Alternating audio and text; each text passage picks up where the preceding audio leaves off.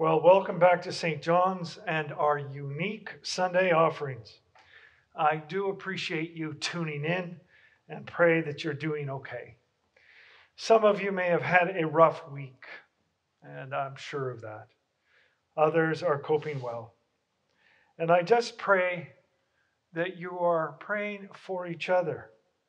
So if you know of someone who is struggling, don't just phone them Pray for them.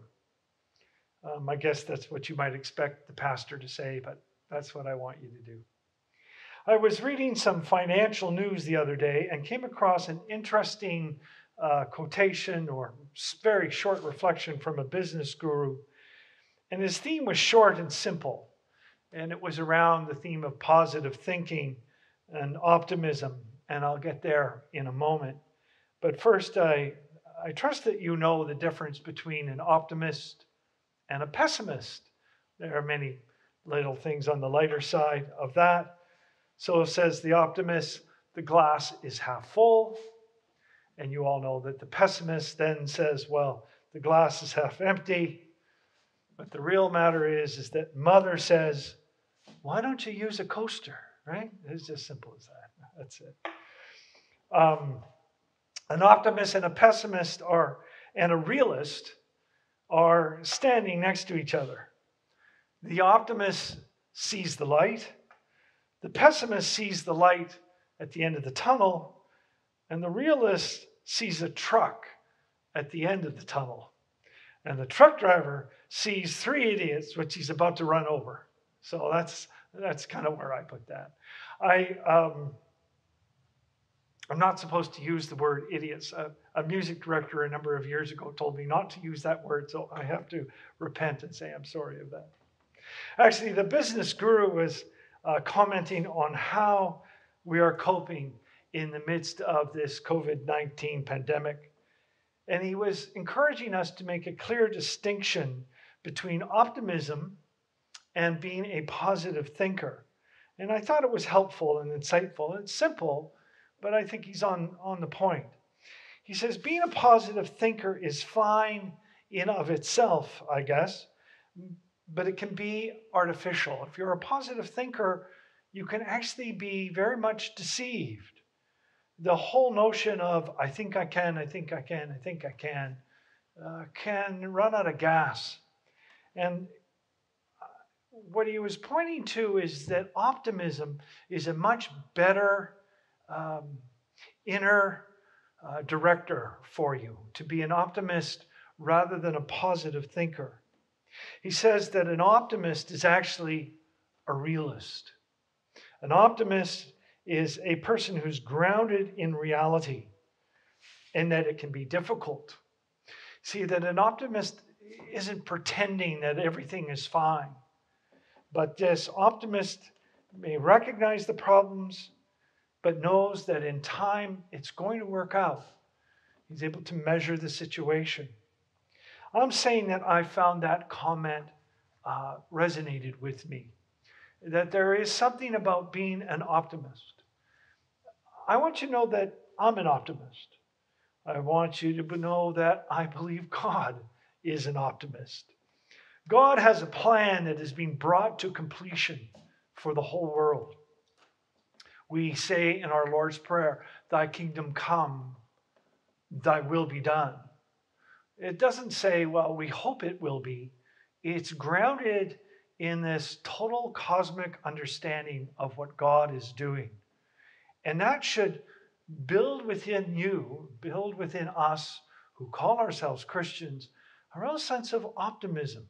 I touched on this in last week's sermon when I said I've come across people who think uh, the world is going to blazes in a handbasket. It's not a good, good place. And I'm suggesting to you that we have every reason to be optimistic. I hold on to a few scriptures for times like these. And I wonder if you might write them down or put them to memory. They're important passages. I have them memorized, but I think it's helpful if I actually read them. Uh, I'm just citing two of them. Romans 8 28. And it says this We know that all things work together for good for those who love God, who are called according to his purpose. I take great comfort in that. As I walk through my day, my week, my life, as do you, I don't know if you would hold on to a scripture like that. To know that even when things seem to be going south, when things aren't really going well, I hold on to the truth that all things work together for the good, for those who are in Christ Jesus.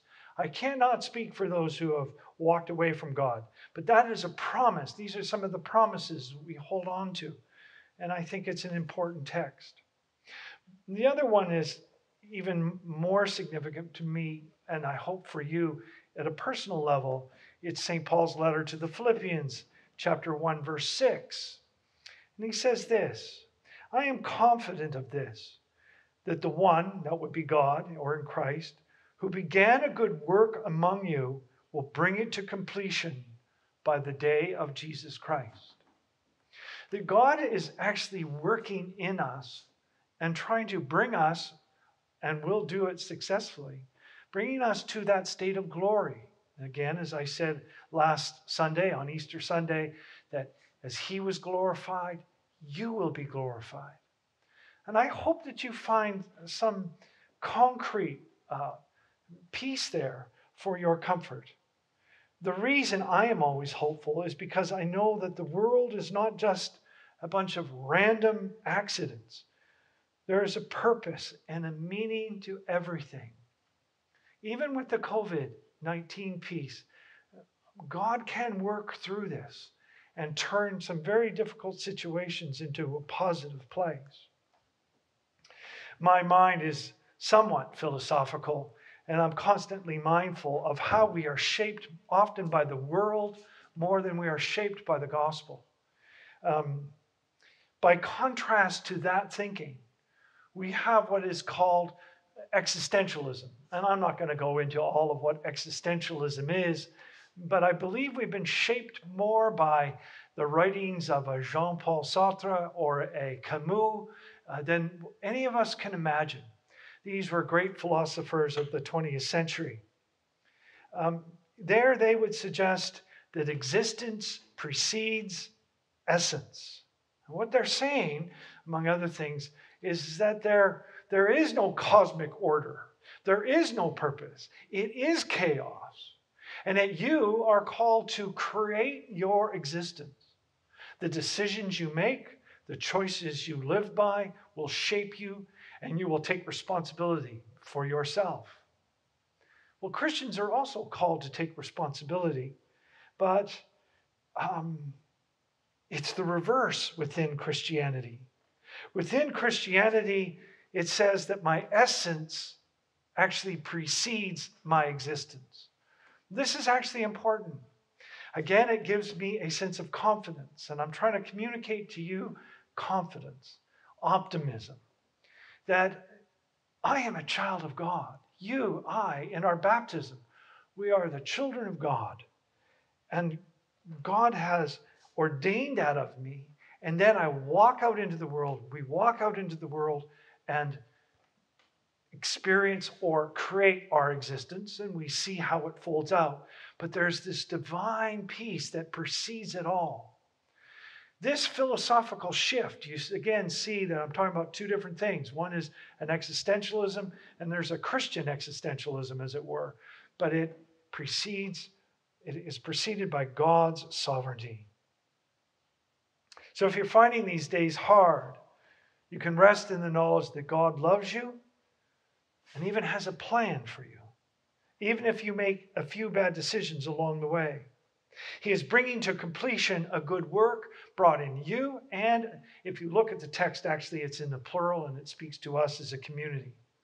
And so today, one of the pieces I'm going to be touching on that I think is profoundly revealed in our text that was read uh, of the doubting Thomas, the story of uh, the disciples in that upper room from John chapter 20.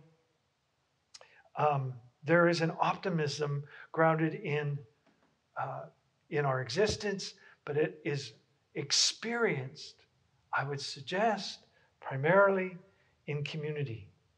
And I'm hoping that you will find some comfort from that.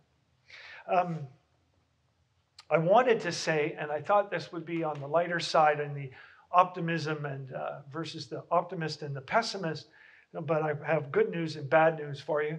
And the good news is, is uh, I talked to the bishop, and he has formally agreed. It wasn't formal before, but formally agreed to have me stay until the end of June, till July 1st.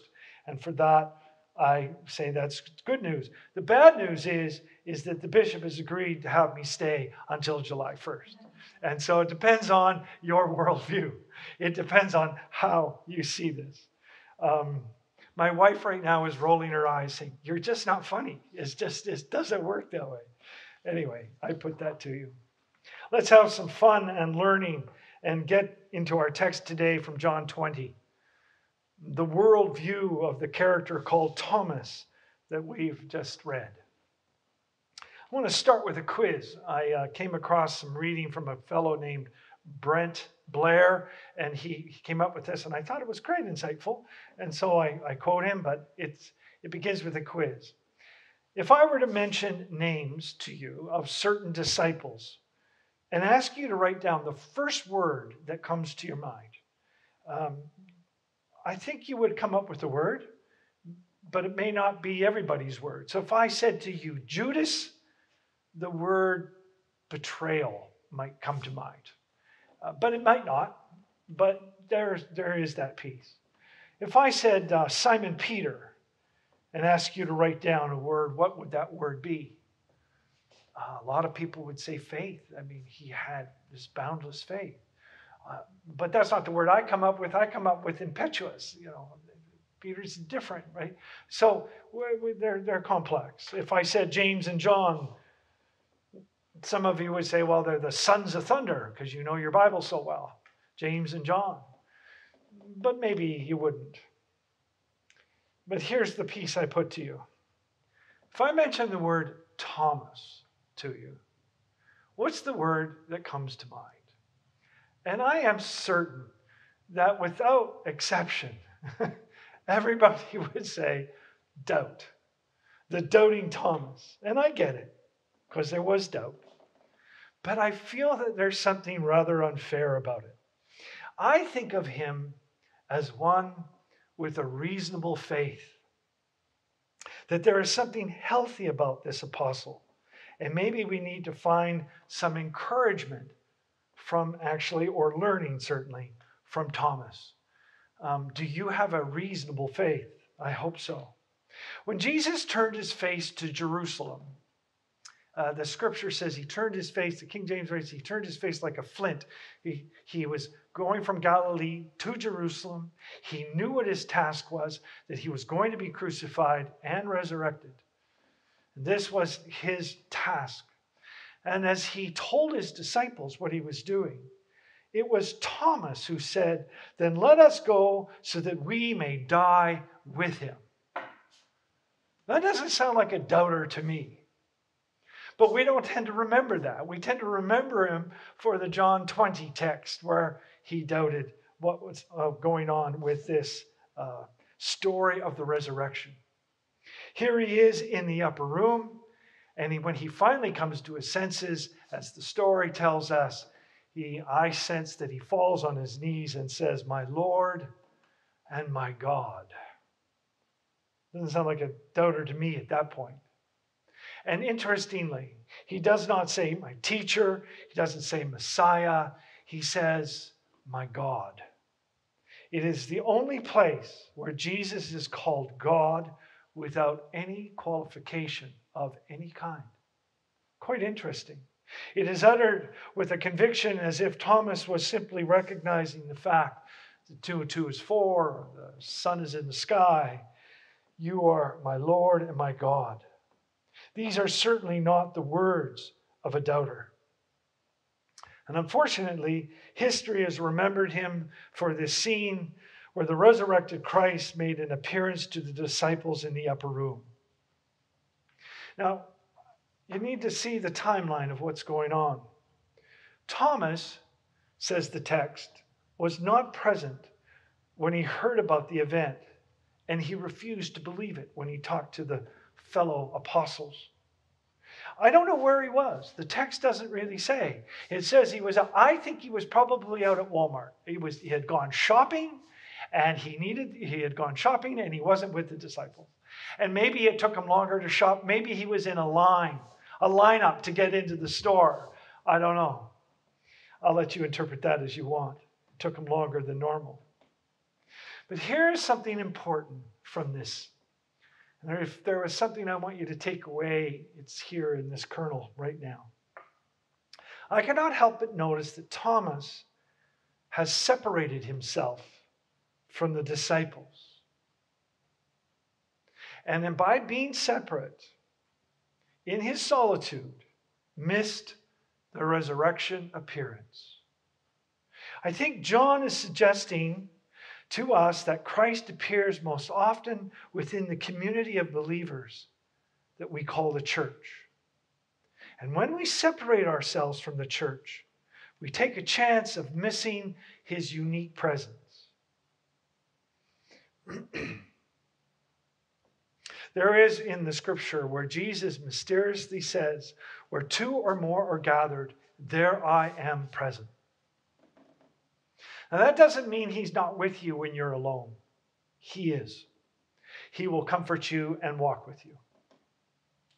But I believe that we see more clearly and have greater experiences when we are gathered together where two or more are gathered. And this is harder to preach and say during these irregular times, but I hope you get my point for what is normative.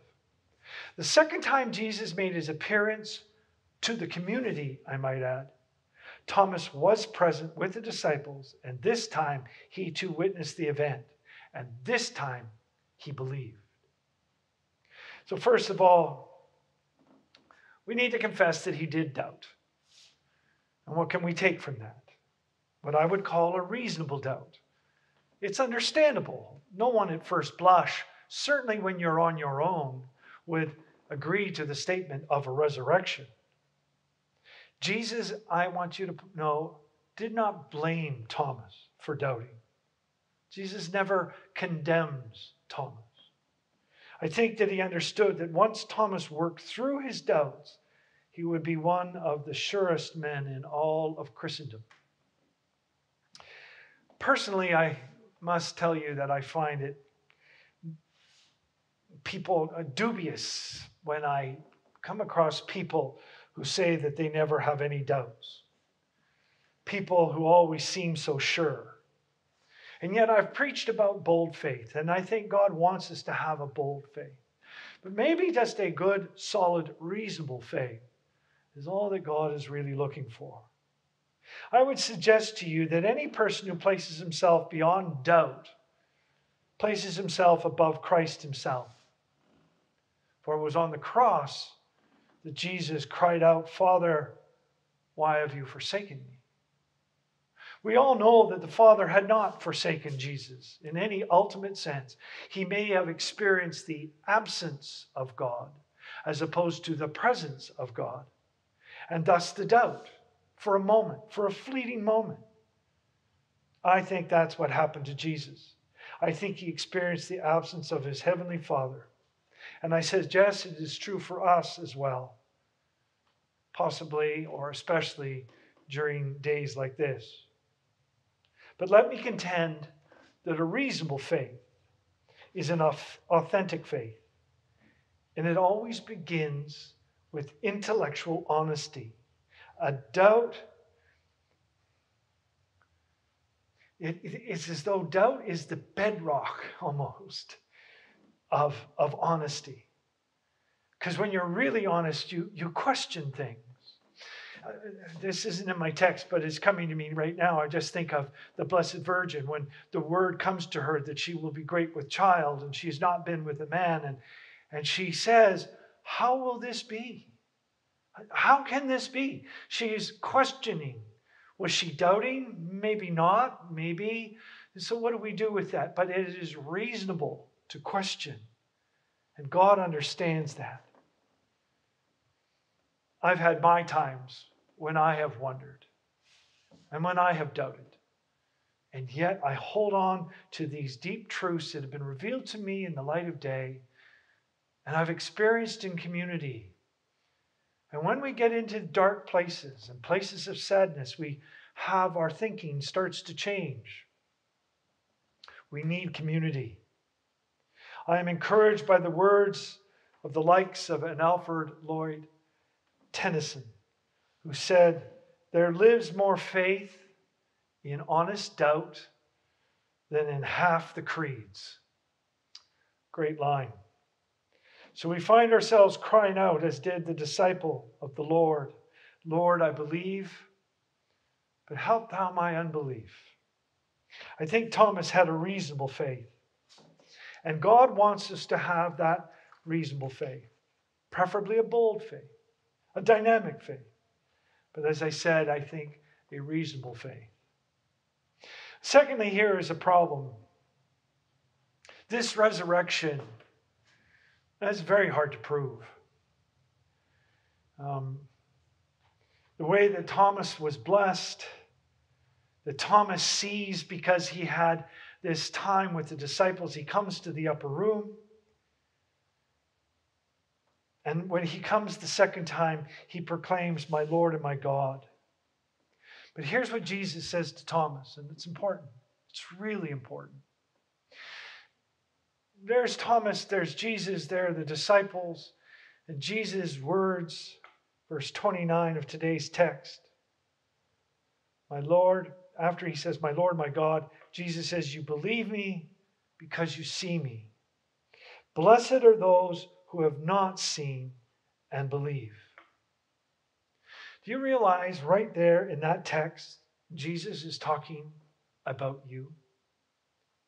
That text is Jesus recognizing eternity.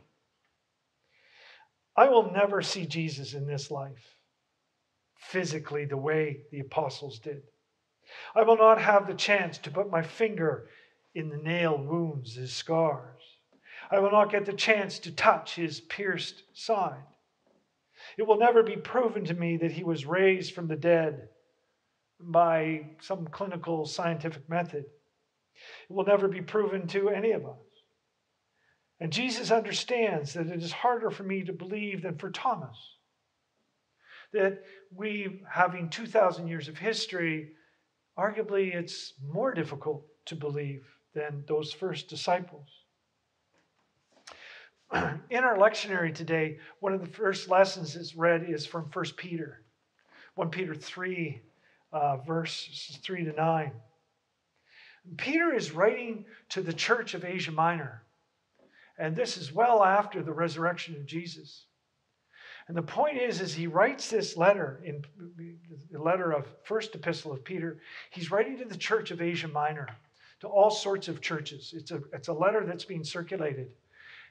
And there's great hardship. And they're overwhelmed by circumstances.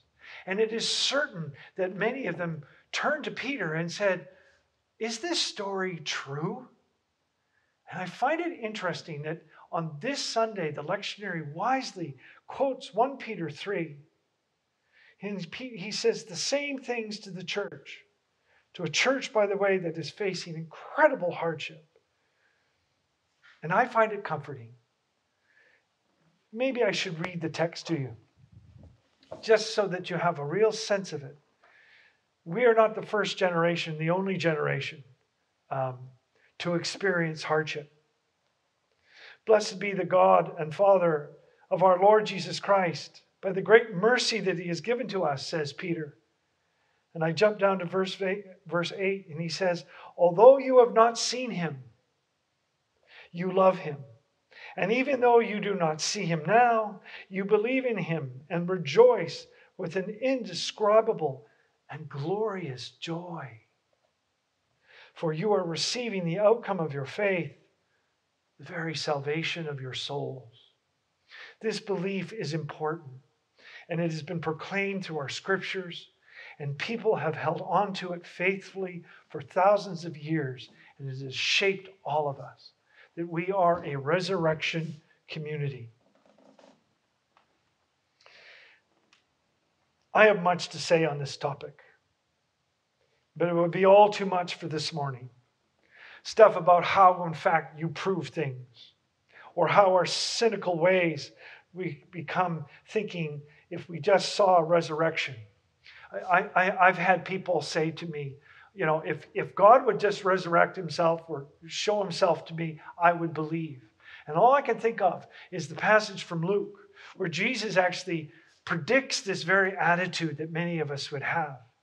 If I'm not mistaken, it's Luke 15. It's the parable of the rich man and Lazarus. And the rich man realizes his torment because the poor man is in heaven he's in Abraham's bosom.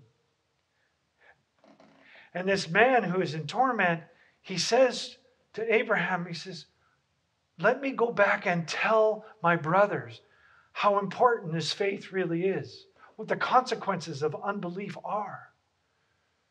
And they said, No, it can't be done. He says, Why don't we show them a resurrection? And the lesson says, even if someone were raised from the dead, they wouldn't believe. It's very interesting.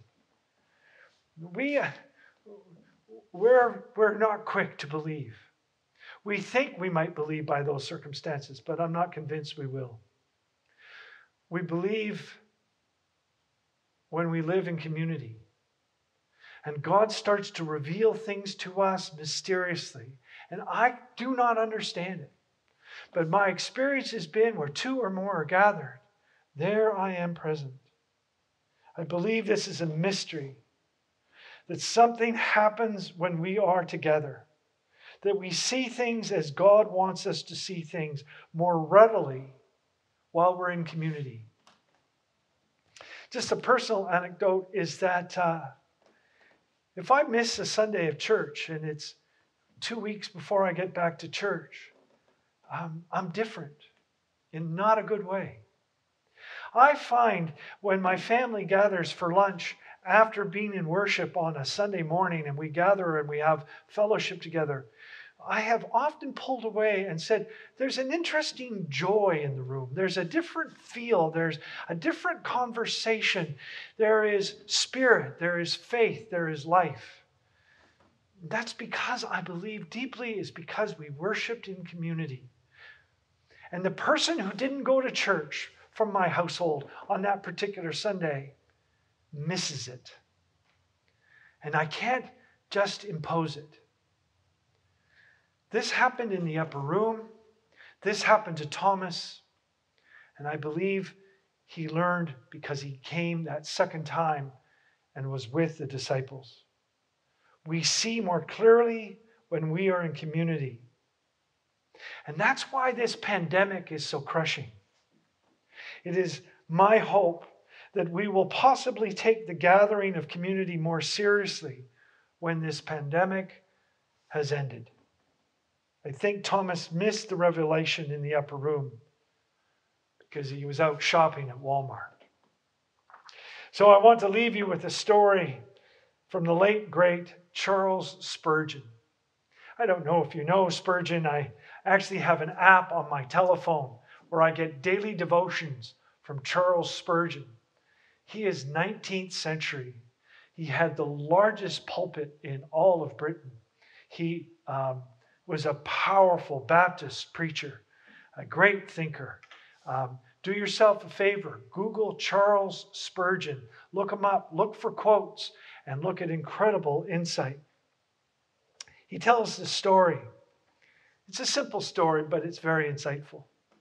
He writes of going to live in Newcastle for a season. He goes to Newcastle in England, which at the time was a very dirty industrial town.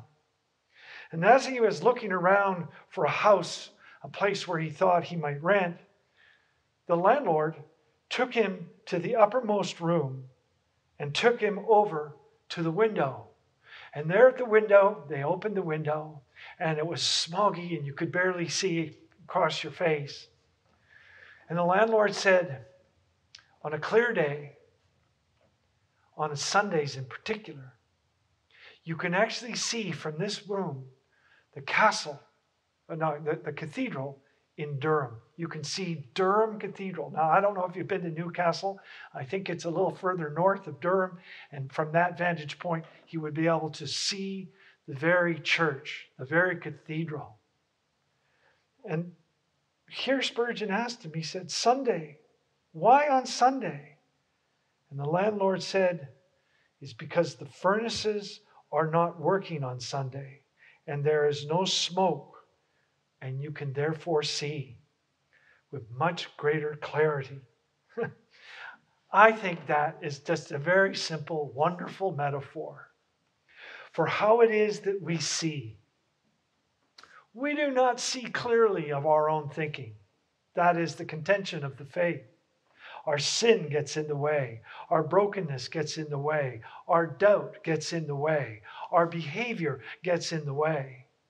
We do not take seriously the adages and the, the encouragement that we are called to worship and be together. It is a mystery. You know, when we come to worship on Sunday mornings, we come to see more clearly and we see even further. When we gather in worship, we come to see into the very heart of God, and then our doubts will fade away. My friends, be of good courage this week. Hold on to your reasonable faith and know that God has his hand on you and will never forsake you. Don't doubt it. Amen.